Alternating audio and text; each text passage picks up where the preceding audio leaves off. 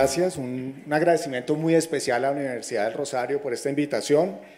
Em, es una muy buena oportunidad pensar cómo precisamente la visión de la ciencia de Alexander von Humboldt ha inspirado también la visión de la ciencia del Instituto Nacional de Biodiversidad.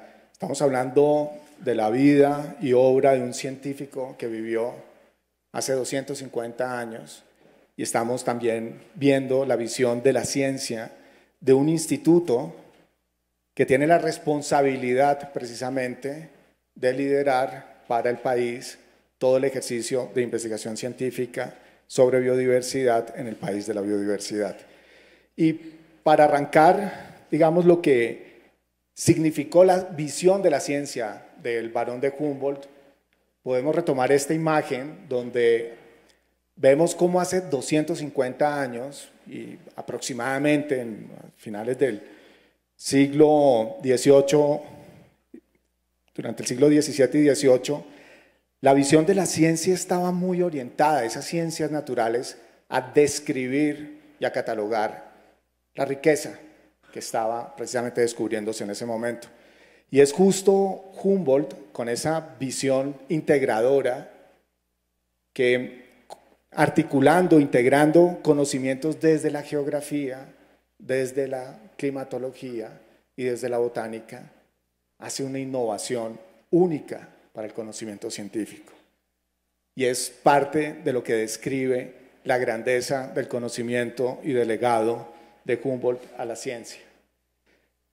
Y esa es precisamente la orientación estratégica del Instituto Nacional de Biodiversidad, Conexión Vital. Es como la ciencia, más allá de describir y catalogar las riquezas, es una ciencia que orienta y conecta a la sociedad. Es una ciencia que tiene incidencia política y social. Es una ciencia que fundamenta por qué dependemos fundamentalmente de la naturaleza como sociedad. Y esa es la visión del Instituto Humboldt, esa es la visión de ese legado de Humboldt desde la conexión vital.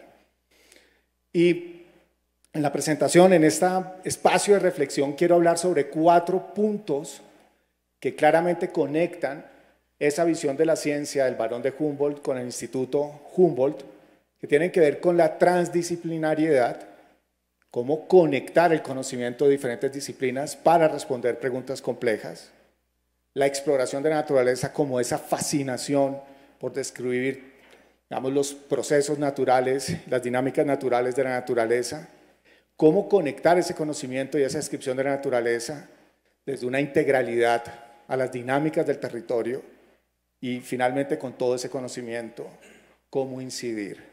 Y eso es lo que nos conecta con el varón de Humboldt.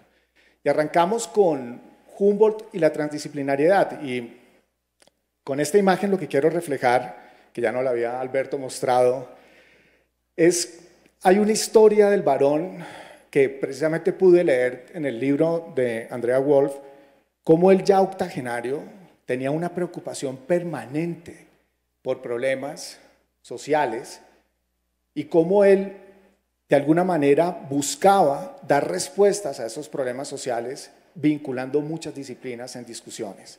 Invitaba a su casa a cenar a miembros de la comunidad científica para médicos, artistas, desde muchas disciplinas, para abordar problemas complejos de la sociedad y poder aportar en la solución de esos problemas complejos. Nosotros desde el Instituto Humboldt, en la actualidad, abordamos también las respuestas del país desde una visión transdisciplinar. En este momento tenemos poco más de 120 investigadores, probablemente algo diferente a lo que era la ciencia del siglo XVIII, más mujeres que hombres dentro del equipo de científicos del, Instituto Humboldt. Tenemos una estructura de investigación que trata de vincular también las visiones de diferentes disciplinas pero el reto más importante que tenemos en este momento de ciencia es conectar esas disciplinas, que era el reto que el varón de Humboldt tenía hace 200 años, invitando a su casa a cenar a todos estos miembros de la comunidad intelectual em, en su casa. ¿Cómo conectar, cómo poner a discutir y cómo innovar con el conocimiento científico transdisciplinar?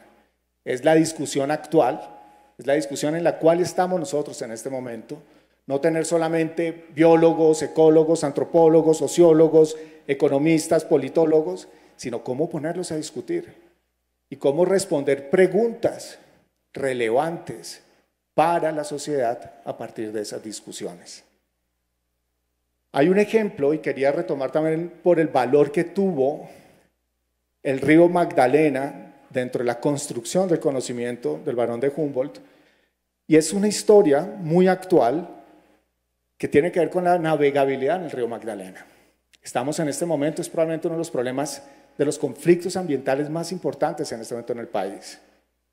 Y el país está inmerso en una discusión sobre las consecuencias ecológicas y sociales de la navegabilidad en el río Magdalena.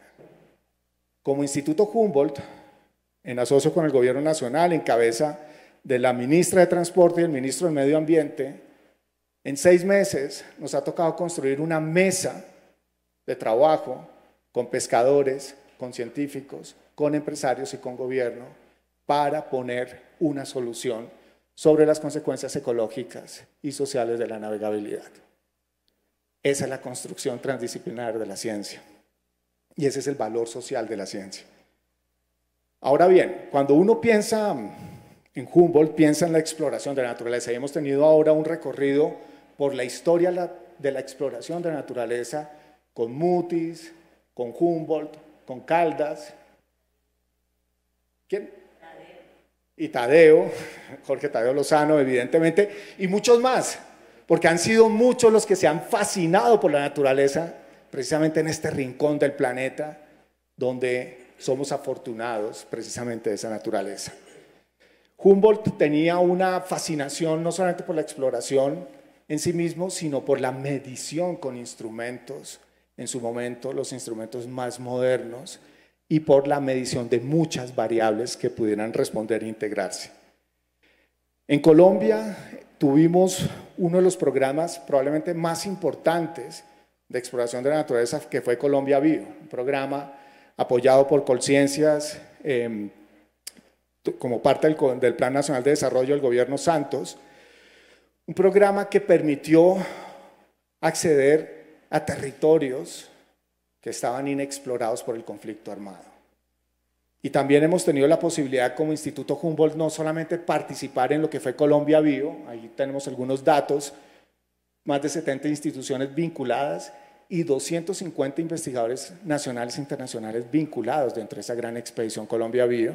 Hemos tenido también la posibilidad de trabajar a través de unas expediciones regionales como parte de este programa nacional que fue Santander Bio y Nariño Bio. En esas expediciones, al igual que Humboldt, salimos a explorar esa naturaleza a través de la medición de grupos biológicos que nos hablan sobre precisamente la condición de esos territorios. También incluimos em, variables sociales relacionadas con la gobernanza y relacionadas con los servicios ecosistémicos, pero utilizamos métodos que en este momento son métodos modernos de exploración de la naturaleza. Aquí algunos casos como el fototrampeo, la bioacústica y la genómica como una forma también de salir a documentar esa biodiversidad. Una imagen de, de fototrampeo, pero lo importante es que además con ese conocimiento se han ido construyendo redes en el país, redes de conocimiento y un ejercicio permanente de democratización del conocimiento, que es un poco esa discusión entre Humboldt y Mutis. Finalmente, lo importante es la democratización del conocimiento, que el conocimiento sea público, esté disponible y sea útil y pertinente. Esto es un dato, yo no sé cómo, ahí tenía un, el sonograma Andrés de, para poderlo escuchar, pero, pero bueno, no me voy a detener en eso, pero una de las formas interesantes de exploración también de la naturaleza que se han utilizado a través de estos proyectos bio y que siguen trabajándose en el país es la captura de los sonidos no solamente de las especies, sino las huellas acústicas de los paisajes. En este momento se está construyendo un mapa acústico de Colombia, cómo suenan nuestros ecosistemas y cómo conectar a la sociedad con esa información. Cómo conectar para entender si un bosque, por ejemplo, degradado, un bosque transformado, suena o cambian las interacciones ecológicas que podemos percibir a través de los sonidos. Esos son los sonidos de la biodiversidad, uno de los elementos importantes de esa exploración de la naturaleza. Humboldt, a partir de esa exploración de la naturaleza, empezó a interpretar el territorio. Algo fundamental para él, entender esa relación precisamente del hombre y la naturaleza, cómo empezaba a implicar transformaciones. Ahí también, como que no, no he estudiado a Humboldt, aquí tenemos a Alberto como nuestro gran experto de la vida científica de Humboldt en el Nuevo Reino de Granada, pero también recuerdo una de las, de las historias que salen en el libro de Andrea Wolf, que es cuando Humboldt está en Venezuela, en el lago en Valencia, y empieza a ver ya transformaciones que generan preocupación social sobre esas transformaciones en el territorio.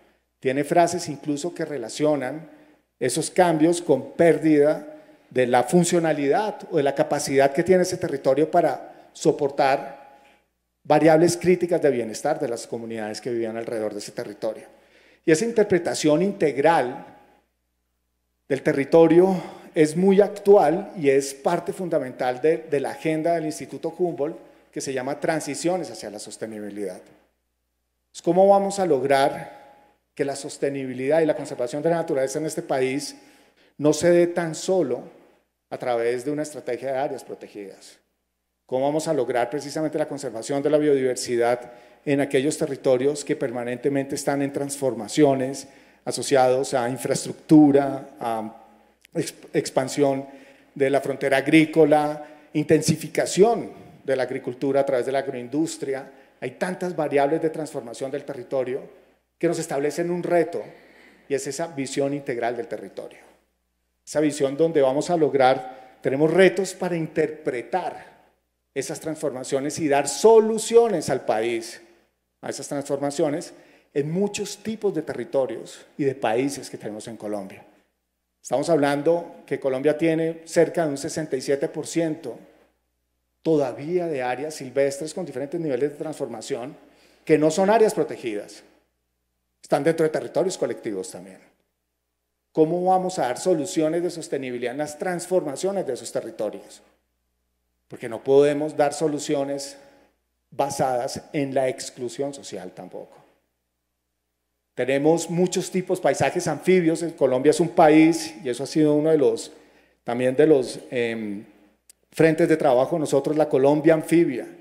Cuando uno mira la Orinoquía colombiana, y se da cuenta que cerca del 60% del territorio está directamente relacionado con los pulsos de inundación. Es una Colombia anfibia. Cuando vemos el Magdalena y las culturas anfibias del Magdalena, tenemos diferentes retos y frentes de trabajo precisamente para trabajar con esa visión integral del territorio como un legado también del varón de Humboldt. Y probablemente cuando Humboldt, y esto también parte de una discusión y un buen almuerzo que tuve con Alberto contándome más sobre Humboldt. Humboldt termina, viene desde Venezuela con, con una perspectiva de describir y generar las crónicas sobre sus viajes muy basados en esa exploración de la naturaleza. Llega a Colombia al canal del dique y empieza a interactuar también, digamos, con, ya lo hemos visto, su fascinación por, por la expedición de de, la, expedición botánica y para sus crónicas. Pero cuando él regresa a Europa y basado en todo ese conocimiento, de esa exploración, de esas crónicas, empieza un Humboldt mucho más enfocado hacia la incidencia. Un Humboldt que construye dos libros que son el ensayo político sobre la isla de Cuba y el ensayo político sobre, creo Alberto, que es sobre México, que es el segundo ensayo político donde empieza a reflexionar desde el conocimiento, ya no en la descripción de especies, ya no solamente en la descripción de una naturaleza y las sociedades que hacen parte de ese territorio, no solamente en las transformaciones que se están dando en el territorio, sino en la importancia de ese conocimiento para incidir en toma de decisiones Incluso se mete en temas tan complicados para la época como la esclavitud a través de estos ensayos de política. Y ese es fundamentalmente, digamos, el rol nuestro como Instituto Humboldt. No una ciencia dirigida a sacar publicaciones científicas solamente. No estamos medidos por cuántas publicaciones científicas estamos incluyendo dentro del Sistema Nacional de Ciencia y Tecnología. Lo fundamental es cómo la ciencia que estamos construyendo, no solamente desde el Humboldt, sino desde la red de científicos e instituciones de ciencia que tiene el país, está, está precisamente impactando en decisiones estratégicas. Y yo quisiera aquí contarles el caso probablemente más, digamos, de más frente de incidencia y de discusión social y política como la delimitación de páramos. Veía en la presentación anterior em, que Mutis estuvo en Betas. Betas hace parte del complejo de páramos de Santurbán. Betas tiene poblaciones mineras de comunidades locales de más de 400 años viviendo en la explotación minera. También tiene grandes intereses de minería por grandes empresas. Y también tiene asociado una gran ciudad como Bucaramanga, de gente que depende fundamentalmente del agua del páramo.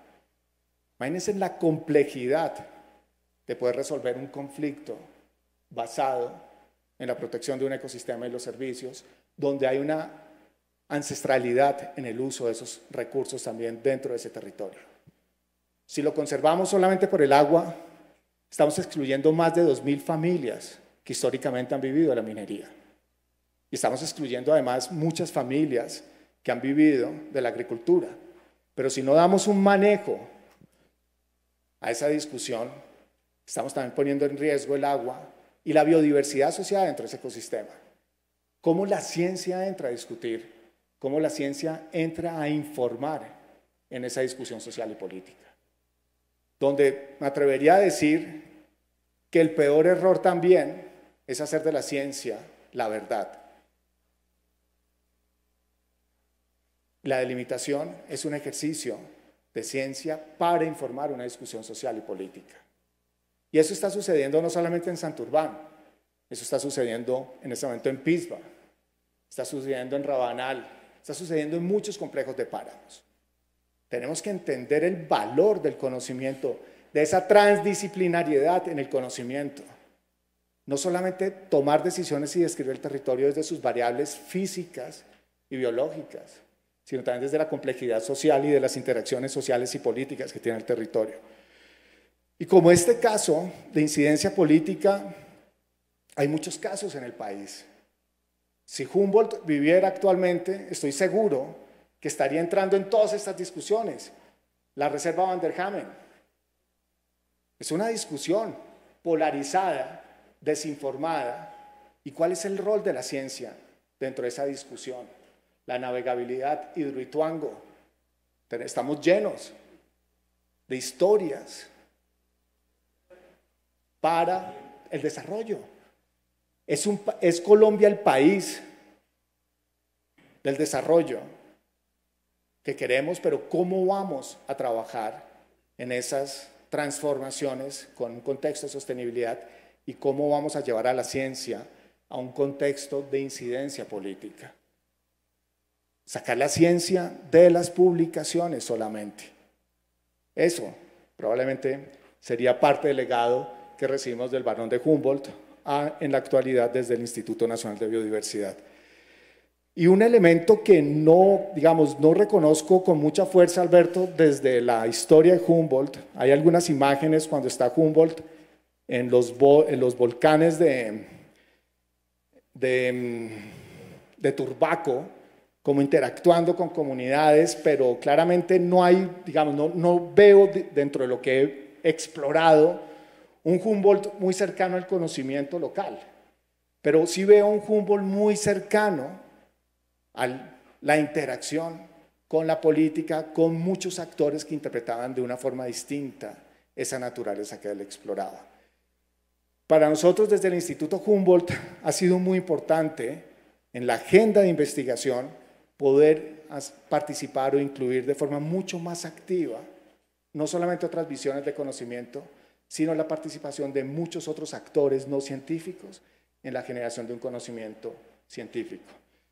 Y eso lo vemos en los datos. Hoy en día, el sistema de información sobre biodiversidad de Colombia, que es el sistema del país, que es el que se consulta para, para buscar responder preguntas de incidencia política. Ese es el sistema que buscan las empresas, los gobiernos nacional, departamental y municipales para conocer cuál es la biodiversidad del país.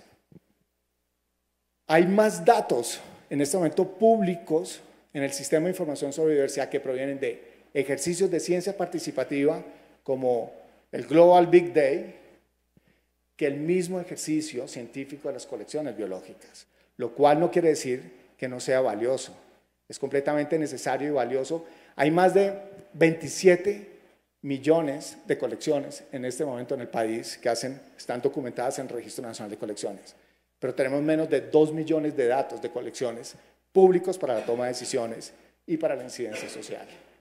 Tenemos trabajo por delante a nivel de colecciones y de la democratización de la información. Y también un, un elemento importante cuando uno Alberto nos comentaba ahora que Humboldt pudo sostener más de 50.000 cartas de correspondencia.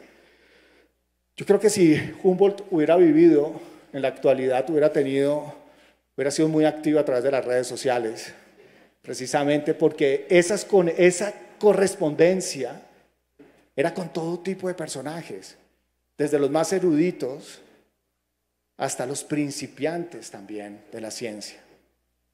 Y para nosotros es muy importante como Instituto Humboldt crear esas conexiones con la sociedad no científica para poder hablar de biodiversidad, hablar de su importancia y también entender su interpretación de esta biodiversidad. Humboldt hablaba que la visión más peligrosa del mundo es la visión de quienes no han visto el mundo. Una invitación a conocer nuestro país, una invitación a salir, a conocer la complejidad, esa, como dice el profesor Julio Carrizosa, nuestra Colombia compleja, con muchos territorios, muchas realidades, y una invitación también para que la ciencia salga a democratizar también su conocimiento hacia la toma de decisiones. Tenemos una Colombia que en este momento tiene reportado un poco más de 62 mil especies a través del Sistema de Información sobre Diversidad. Esta Colombia que de la cual nos sentimos orgullosos, pero que además tiene grandes retos aún de exploración. 250 años después, 200 años de la avenida de Humboldt, y tenemos todavía grandes retos de exploración. Este es un mapa donde vemos por departamentos la biodiversidad estimada en, las barras rojas y la biodiversidad documentada y pública a través de las barras verdes.